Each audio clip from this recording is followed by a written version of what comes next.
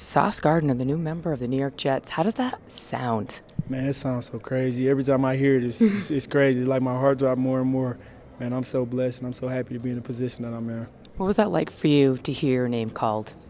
Man, it felt it felt great, but like getting that phone call, seeing that New York Jets pop up, man, that feeling just made my heart drop. But you know, hearing my name called, that was just a real feeling, man. You uh, like I said, I'm blessed. Did you know the Jets were interested? Were you hoping to go to the Jets? Oh yeah, most definitely, most definitely. I knew they was interested, and I knew that was the place I wanted to be. Uh, my brother, he's my business manager.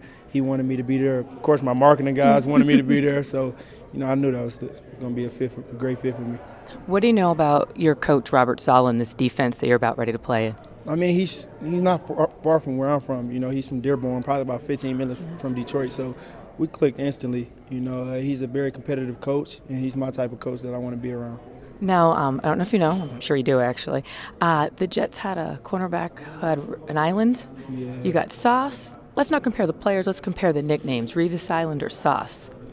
Um, I would say Sauce, but man, he was a great player, phenomenal. You know, I was just watching him versus uh, Calvin Johnson.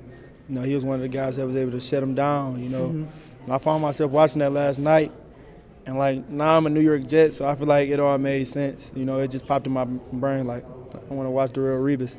You know, and it made a lot of sense. What? Who did you model your game after? Is there someone in particular you model your game after? Uh, I like Jalen Ramsey, so I model my game after him in some, in some ways. You know, yeah. I always ask every player this when they first get drafted: What can Jets fans expect from you? Y'all can expect me to be someone who could just come and uh, impact the community in a great way. You know, a guy that's a great teammate, hardworking, and will do whatever it takes so we can, so we can win. You know the chant yet? J E T S, Jets, Jets, Jets. Jets. yep, most definitely.